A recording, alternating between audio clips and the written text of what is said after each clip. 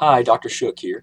Today I want to talk to you about autoimmune conditions and a lot of people don't realize how how common autoimmune conditions are and these are these are conditions where your immune system attacks your body and your own tissues and there's a point in your life where if you have an autoimmune condition where your body loses self-awareness and your immune system no longer is able to differentiate or tell the difference between your tissues and foreign invaders.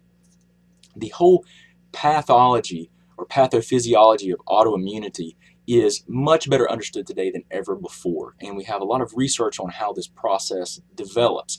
I'm not going to go into that in great detail, but what I am going to talk to you about is um, I'm going to I'm going to talk about a few autoimmune conditions, just kind of list several that there are so many, there are hundreds and hundreds of autoimmune conditions. So you may be autoimmune and not even know it. And the problem with autoimmune conditions is that they come in groups. And there's there are most of these conditions uh, are undiagnosed.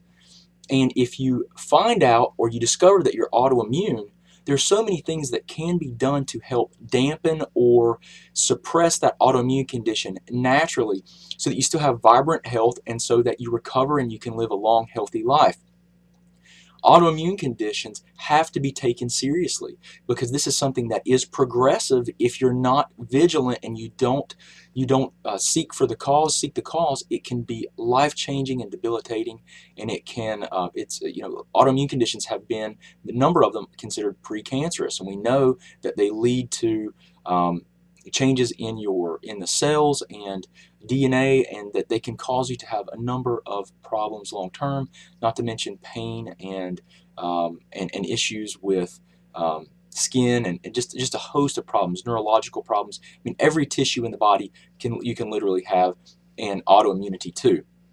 So um, one of the things that I wanted to, to kind of go into was um, just a list of a few of the autoimmune conditions that people don't necessarily know uh, are, are an auto, autoimmune problem.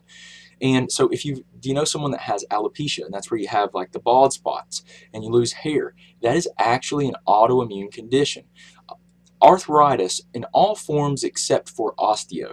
Now, osteoarthritis is the wear and tear arthritis, but rheumatoid arthritis, psoriatic arthritis, um, there are there, there, there are probably a hundred or more rheumatoid um, or autoimmune metabolic arthritises. There are dermatitis. So if you have um, a, skin irritation, eczema, psoriasis, type 1 diabetes, uh, endometriosis, gastritis, uh, celiac disease, which we know is an autoimmune condition to gluten that occurs in the gut. Uh, lichen planus, multiple sclerosis is an autoimmune condition to the myelin or the nerve, the coating of the nerves in your body, and that's autoimmune where your immune system's attacking those nerves. Restless leg syndrome, schizophrenia, and then we know that vasculitis and literally hundreds of other autoimmune conditions exist. So if you know, if, if you if you don't know and you have any of these conditions, you need to, to treat this seriously and there, there's testing that you can do to determine if you're autoimmune. Now, the testing that, that we offer our patients is through a, a, a laboratory called Cyrex Labs. C-Y-R-E-X, and they have what they call arrays. And you can go to cyrex.com and you can look at their arrays, testing arrays.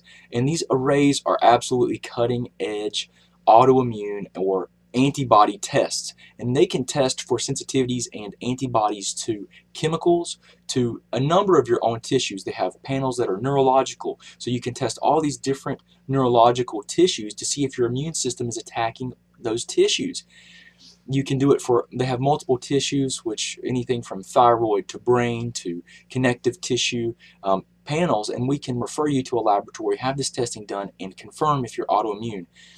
The, the thing is, I treat my patients, the majority of my patients that have symptoms that, uh, that could be autoimmune, you're autoimmune. I just treat you as if you're autoimmune so that we don't have to do that testing. But a lot of people want this confirmation to know exactly the extent and, ex and the uh, how far their, their autoimmunity has progressed because they always come in groups.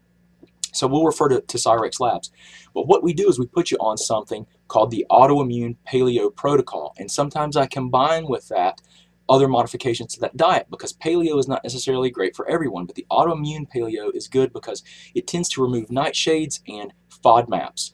and you can look at my blog for other things or you can contact us and I can help you with your diets. But this is something that's extremely important because your digestive health and food sensitivities are are one of the, the if I if I had to say the majority of um, the, the chronic or, or the things in your in your in your lifestyle that drive autoimmune conditions is going to be your diet.